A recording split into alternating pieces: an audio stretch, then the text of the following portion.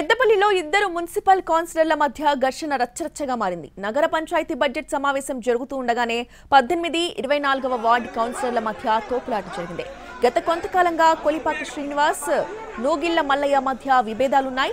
సాక్షాత్తు ఎమ్మెల్యే విజయరమణారావు ముందే ఇద్దరు కౌన్సిలర్లు కుమ్ములాడుతున్నారు. ఇద్దరు కౌన్సిలర్లు కాంగ్రెస్ పార్టీకి చెందిన వారే. ఇక వీరి మధ్య గొడవలు ముదిరి ఈ రోజు కొట్లాటకు దారితీయడంతో అందరూ దిట్టపోయారు